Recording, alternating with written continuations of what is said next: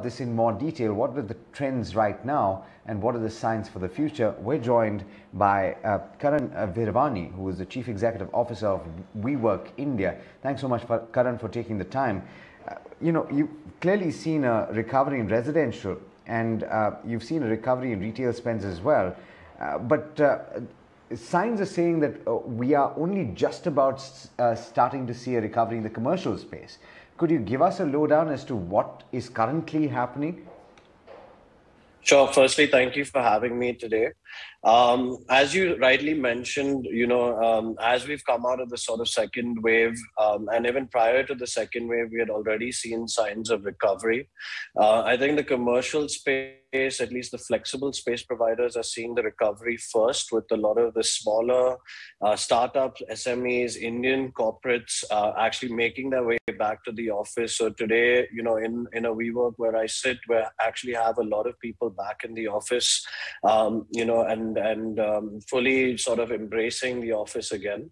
Um, and in the commercial space as well, if you you know understand what's happening with hiring across all of the IT sector uh, and also the growth of uh, you know some of the uh, local Indian businesses, uh, these companies have grown immensely and hired excessively over the last 18 months. Um, and so the demand for office space is there. Uh, it's very strong. Uh, we continue to see both on the traditional side and on the flexible side um, uh, traffic coming back. And this is not just India specific, I think it's global. Uh, and if you look at some of the office REIT uh, stock prices uh, and things like that, you will see that there's confidence in an office first strategy across the world.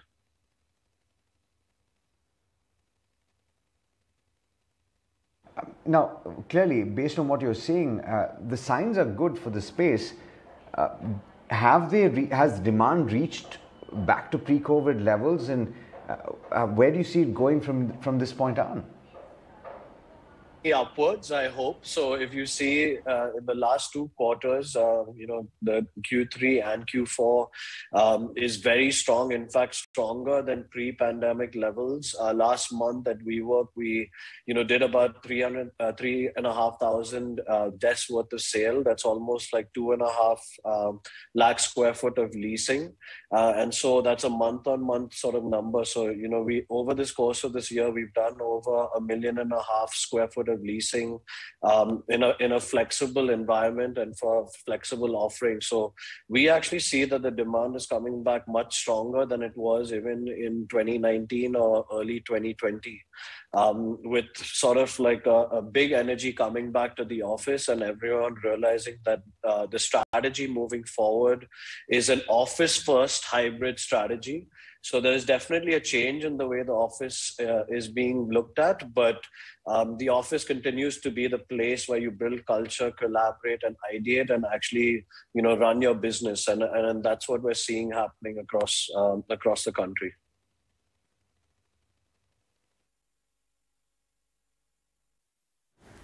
Sure. But Karan, are there particular sectors, maybe IT, which has really been the first of the lot, or for that matter, essential services like banking and financial services, which are largely adopting to this model? Or would you say it's pretty much across the board? Actually, it's been very surprising. So, you know, pre pandemic, um, only a certain section of companies were actually looking at flexible workspace providers as an option for the office.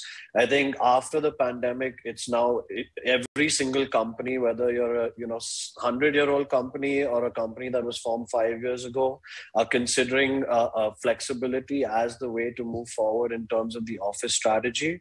The first few people to come back have actually been your startups, SMEs, and the MSMEs uh, and the Indian corporates. Uh, the M- uh, MNCs are still waiting on global pullback to the office, but we see that you know at the start of the new year or by January, uh, they will be coming back pretty heavily as well. A lot of them have mandated people back now to the office. Uh, we've already started to see leadership and and also a few employees actually come to the office and operate out of the office. Um, and one interesting trend has been the decentralization of the office. Uh, in the sense that you know people uh, giving employees the flexibility to work out of different locations rather than just come you know to one location um, and that's a trend that we see moving forward as well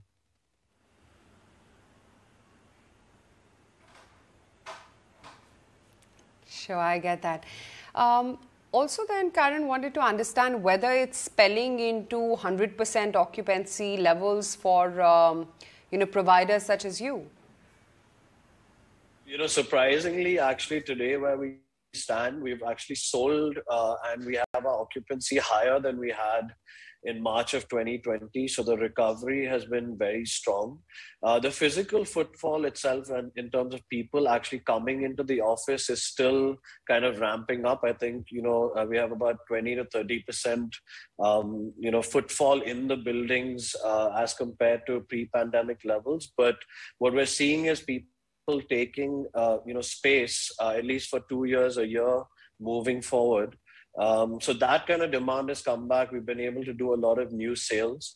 Uh, and slowly, slowly, you're seeing sort of people even trickling into the office. There are certain uh, pockets, like you know, uh, certain places in Gurgaon, Outer Ring Road in Bangalore, uh, BKC, and some of the hotter office markets in um, in Bombay as well, where traffic has come back very heavily. Pune also, uh, uh, buildings in Pune almost very full. So there are pockets where people are actually, you know, coming back almost 100%. But if you look at it across the entire portfolio, I think they're still, you know, uh, still ramping up. And, and as we enter the new year, I think everyone will be back into the office.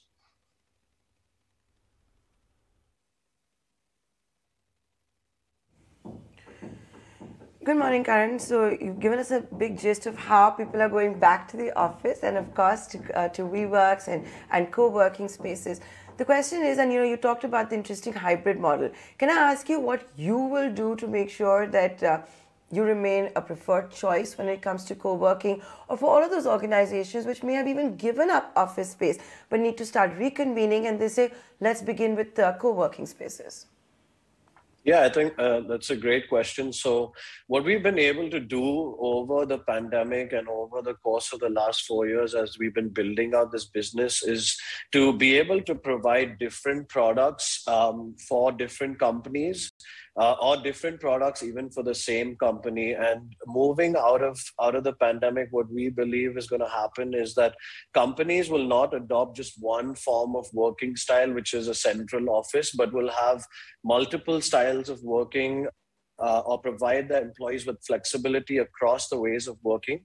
Um, and so we've been able to productize, uh, you know, from moving from almost a, a, daily pass, so someone being able to come into a space just for a day if they want to get out of their house or if they're traveling, uh, to what is now being called sort of like the managed office product, which is multi-year leases, uh, very large space uh, where we do all of the capex and we actually manage the end-to-end solution. So at WeWork, what we're trying to do is actually be the platform that can provide multiple products under one umbrella uh, to an organization. So when we see a large IT firm or a large BFSI firm looking at space, um, there are certain sections of the employee base which are permanently going to be in the office.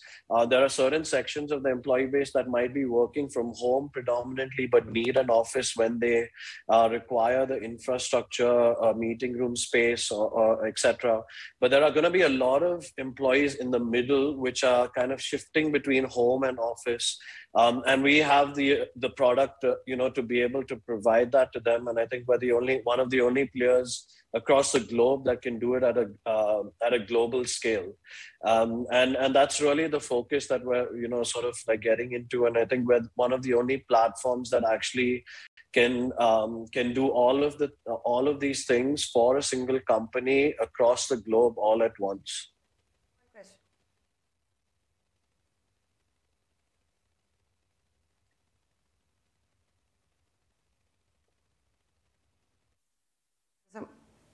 are some of the new products uh, that we are coming up with. Now, WeWork had, of course, opened a 15,000 square feet uh, new space in uh, Nariman Point.